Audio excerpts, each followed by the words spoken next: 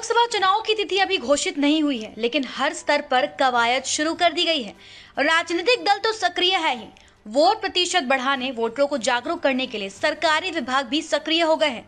लोगों को जागरूक किया जा रहा है। मतदान करने की अपील की जा रही है।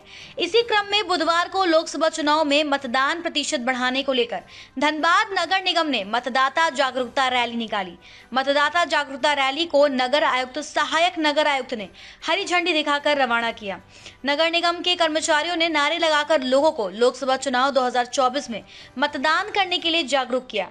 एक एक वोट के महत्व के बारे में लोगों को बताया। नगर निगम कार्यालय से मतदाता जागरूकता रैली निकालकर कंबाइंड बिल्डिंग रोड होते हुए Pooja talkies court road, Randhir Verma चौक लुबी सर्कुलर रोड होते हुए वापस नगर निगम कार्यालय पहुँचे, जहाँ से नगर निगम का एक रथ शहर के विभिन्न क्षेत्रों में भ्रमण कर मतदाता जागरूकता रैली का संदेश देगा। सफ़ाई कर्मचारी कचरा उठाव करने के साथ साथ घर घर जाकर मतदाता जागरूकता संदेश देने का भी काम करेंगे। इस रैली में मुख्यतः नगर निगम के जो सभी ग्रुप की महिलाएँ हैं वो भाग ले रही हैं। सुपरवाइजर्स हैं वो भाग ले रहे हैं। और इसका उद्देश्य यही है कि मतदाताओं को जागरूक करना ताकि वोट सभी लोग चुनाव के दिन जा करके अपना वोट ये कहाँ से कहाँ तक रैली निकाली जा रही है? अभी हमारे ऑफ़िस से निकल के विचार बाँध तक जाएगी।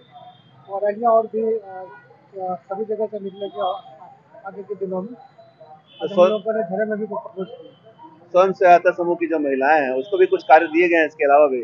हाँ नहीं उनको हम लोगों ने आज तो हम लोग इसके लिए भी बुलाया ताकि वो और, और भी काम कर रहे हैं।